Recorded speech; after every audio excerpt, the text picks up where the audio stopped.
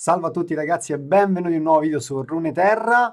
Prima di cominciare vi annuncio ufficialmente che la prima card review di Rune Terra ci sarà.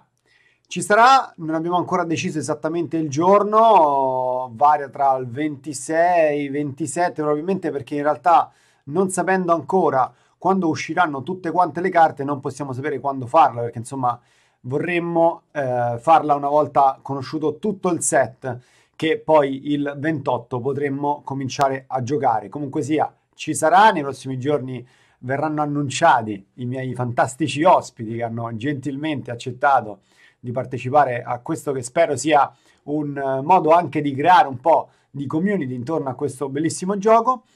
Detto questo, oggi non vi parlo di un uh, mazzo, ma invece andiamo a parlare un pochettino delle spedizioni che ultimamente non ne abbiamo trattato molto. Ho trovato dei dati cercando su Twitter che uh, fanno vedere delle statistiche date da un numero di partite non ampissime, qualche migliaia, ma di giocatori mh, piuttosto competitivi all'interno della, della spedizione. Infatti andremo a vedere che insomma anche uh, i win rate più bassi si attestano intorno al 50% a salire. Cosa andremo a vedere? Andremo a vedere tutti e 24 i champion attualmente eh, su Runeterra che win rate hanno e di conseguenza analizzeremo quali sono a livello generale i pick più astuti da fare quando ci troviamo davanti le scelte della spedizione. Eccola qui la, la bottom di questa lista di 24 campioni. Eh, andiamo subito a notare che uh, Vladimir non solo è l'ultimo per win rate, ma soprattutto proprio non è giocato, cioè eh, il giocatore medio di Nuterra, anzi un giocatore abbastanza bravo in spedizione di Nuterra, proprio non picca Vladimir se non costretto eh, con il fucile. Quindi Vladimir evidentemente è il peggior pick da tutti i punti di vista in spedizione. Seguito da Brown che invece è abbastanza piccato ma comunque sia mantiene un win abbastanza basso, probabilmente proprio perché le sinergie principali sono con Vladimir che però non funziona e quindi magari si trova anche più difficoltà a far funzionare Brown perché magari ci dà ehm, questa esca di andare a prendere Vladimir se lo troviamo nel secondo trio dopo aver scelto Brown. Dopodiché, quello che ehm, viene agli occhi soprattutto è che il primo personaggio di Demacia che troviamo è Lucian. Sotto a Lucian però vediamo che di ogni fazione ci sono almeno due champion. Questo cosa ci fa pensare? Diciamo, scoperte l'acqua calda, sì, in qualche modo è vero, ma se trovate tra le scelte un campione qualsiasi eh, di Demacia, piccatelo sempre perché attualmente in spedizione è veramente una spanna solo agli altri Demacia. Per il resto abbiamo, oltre a Braum, anche Anivia e Ash che uh, stanno sotto uh, la media, diciamo che la media si arriva intorno a Lucian e Trindamer, che um, sono esattamente il taglio rispetto al top di questa lista.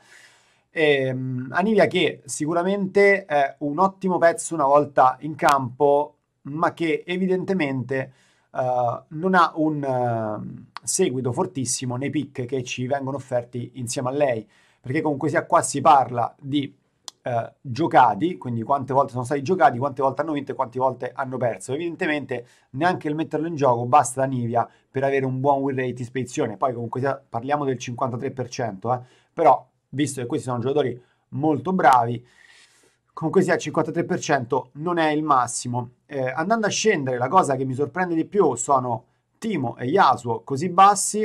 Eh, Timo credo sia perché eh, viene spesso ehm, scelto senza magari riuscire poi a costruirci qualcosa sopra di interessante, perché io sono dell'idea che Timo funziona soltanto se si riesce a fare un mazzo molto aggressivo, quindi magari se poi nel secondo pick non riusciamo ad avere un'alternativa aggressiva per associarla a Timo, probabilmente perde molto. Yasuo invece credo che oltre ad essere stato scelto in generale abbastanza poco, non sia facilissimo da utilizzare e soprattutto ha bisogno di avere come alleato un qualsiasi champion di eh, Noxius, ma senza di questa, di questa combinazione sicuramente perde tantissimo perché poi abbiamo praticamente la metà delle carte eh, piccabili che sinergizzano con Yasuo. Yasuo è uno di quei personaggi che se il mazzo non gira intorno a lui è praticamente una 4-3-4, adesso una 4-4-4 con attacco rapido che insomma non è assolutamente un granché. Al top eh, di questi personaggi che abbiamo visto finora, poi c'è il duo e la Scalista, che è vero che hanno un, un win rate abbastanza buono per questa eh, classifica, ma attenzione perché tutti e quattro i campioni di eh, Isole Ombra sono eh, in questi primi 15 champion, come anche tutti quanti i campioni di Freylord lo sono. Quindi sconsiglierei, se possibile, di andare a scegliere Freylord o Isole Ombra se abbiamo alternative più interessanti. Passiamo adesso alla parte superiore, a quella che ci interessa di più. Eccoli qua i nostri eroi preferiti. Allora, nelle prime nove posizioni la prima cosa che vediamo ovviamente è che ci sono tre eroi di Ionia, anche se non sono rankati altissimi. Sorprendente il fatto che Shen sia il migliore dei tre, superiore soprattutto a Zed.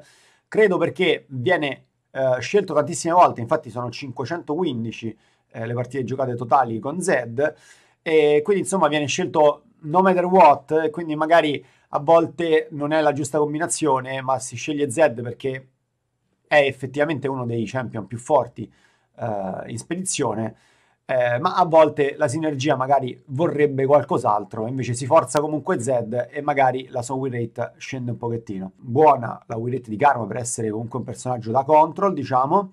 Shen è incredibilmente molto alto, evidentemente eh, questa combinazione con i barrier in eh, spedizioni premia molto perché ci sono molti meno modi magari per uh, raggirarlo o per eh, eliminarlo prima che possa attaccare o anche magari durante l'attacco perché comunque sia il body di scena è abbastanza resistente e riesce evidentemente ad essere efficace. Dopodiché abbiamo Lux, Fiora e Garen, mm, da notare che Garen è il terzo, non il primo, prima che è Lux che di poco supera Fiora, Fiora che è sicuramente, guardando queste statistiche, in realtà il personaggio migliore da piccare in spedizioni.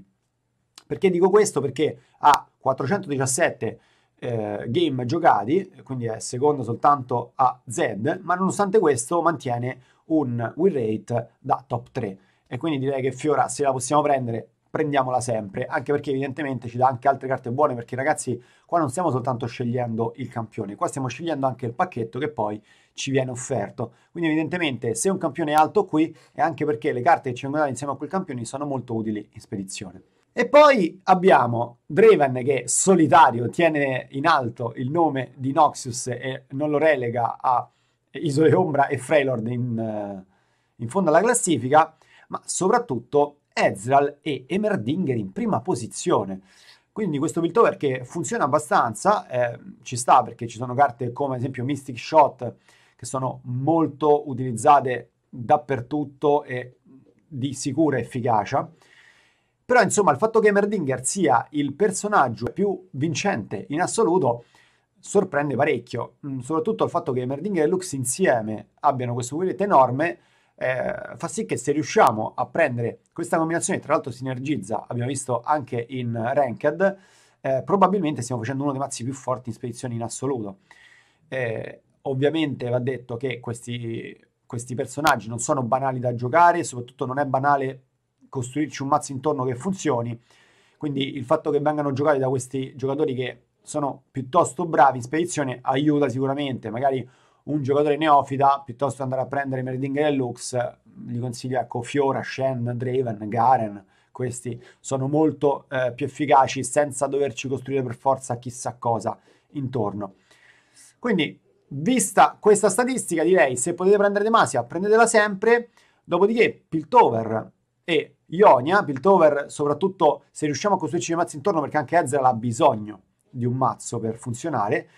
E Draven come seconda scelta va quasi sempre bene in realtà, perché mh, abbinato a qualsiasi cosa è un mazzo che dà una buona aggressività, ma che può ad esempio anche essere utile nella combo con Ezreal. E quindi insomma è un tuttofare che eh, fa sì che anche Noxius possa essere piccata con un win rate piuttosto importante.